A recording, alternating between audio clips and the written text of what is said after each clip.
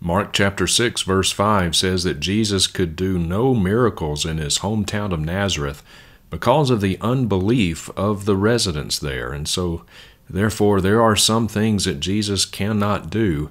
He cannot override our unbelief. He is hindered when we don't believe in him. Got very good arms. He didn't fall? Inconceivable. You keep using the word. I do not think it means what you think it means.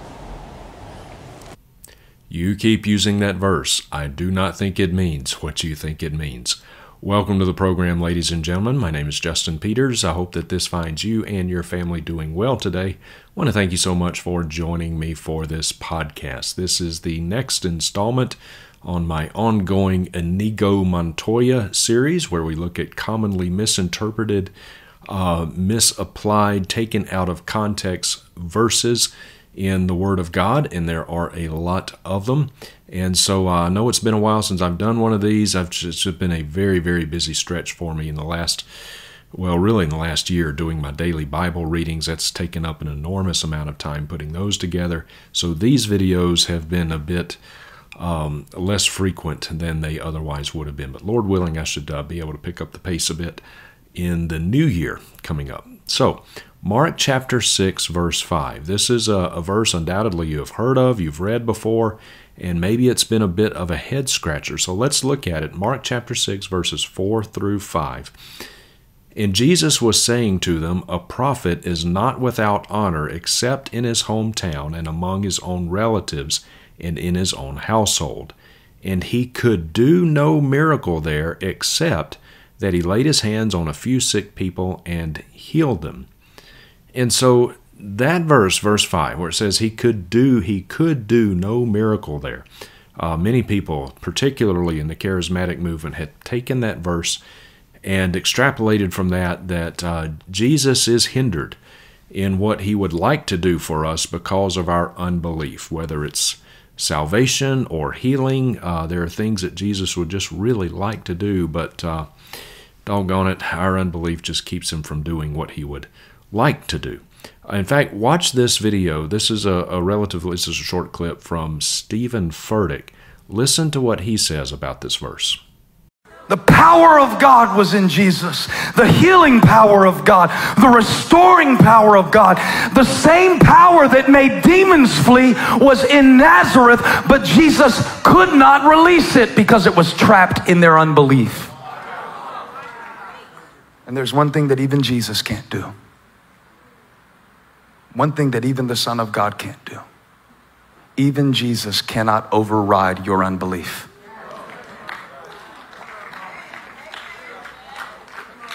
I see y'all looking at me like, is that true? Nope. No, it's not true at all. But I digress. Thought he could do anything. He said he could not. He wanted to, he was prepared to, he was able to, and he couldn't. The power of God was in Nazareth, but it was trapped in their perspective. So, what are we to do with this? I mean, the verse does say that Jesus could do no miracle there except that he laid his hands on a few sick people and healed them. So is is Steven Furtick right? Was Jesus' power hindered by the unbelief of those in Nazareth, and therefore, by extrapolation, uh, he is hindered by our own unbelief. There are things that Jesus simply cannot do. He cannot override our unbelief. Our unbelief to Jesus is like kryptonite to Superman. Don't touch that.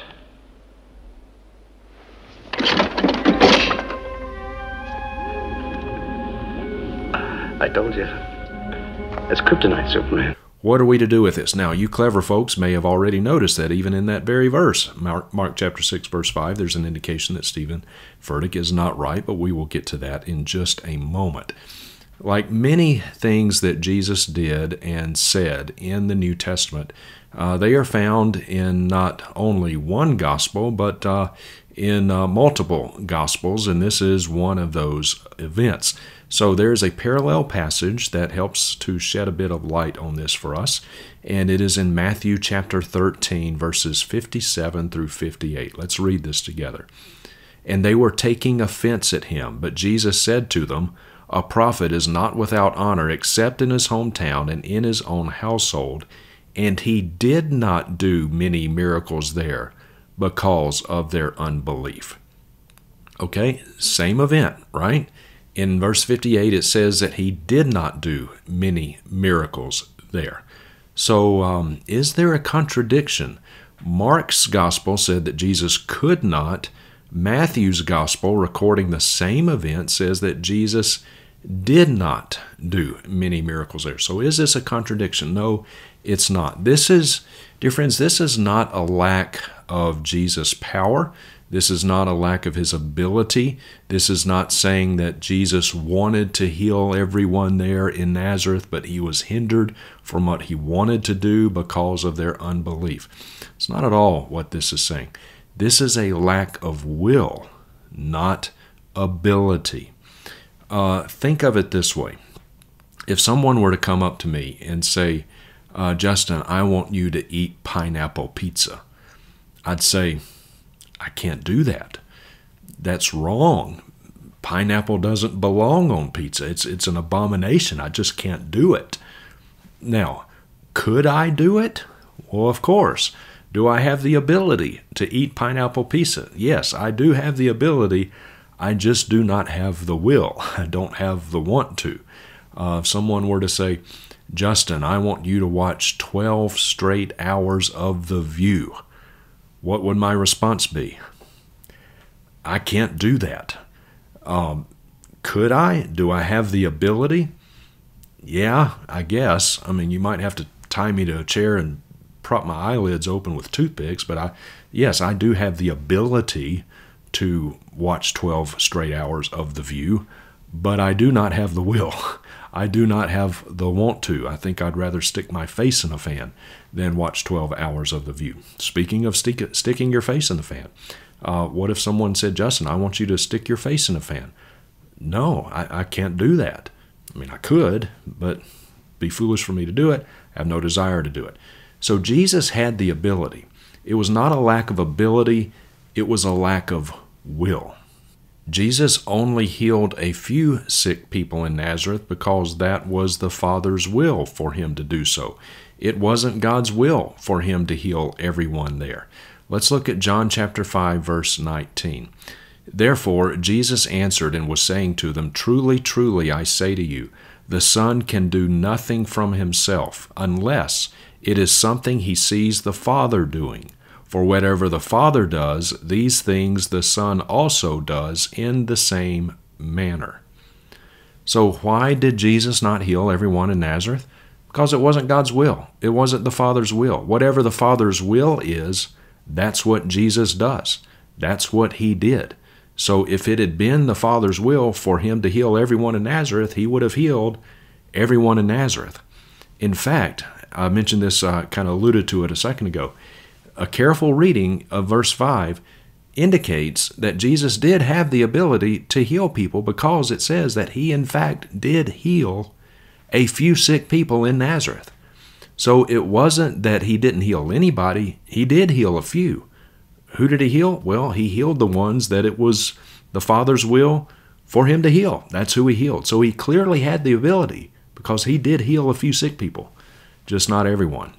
It had nothing to do with people's lack of faith hindering him from doing what he wanted to do. In fact, um, to be fair, there are times in the in the New Testament when we read of Jesus, and there was apparently uh, a, a part, a place for the faith of the person, the recipient of Jesus' healing. Their faith was an integral part of that. On occasions, that did happen. However, there are other occasions in which Jesus healed people and there was apparently no faith at all required on the part of the person who was being healed. Jesus healed 10 lepers in Luke chapter 17, but only one of them expressed faith in him. Only one came back to thank him. Jesus asked, Where are the other nine? Were not, they're not 10 healed, only one. The crippled man at the pool of Bethesda in John chapter 5. When you read John chapter 5, it says that there was a multitude of the sick laying there at the pool of Bethesda. How many did Jesus heal? Only one. One out of a multitude.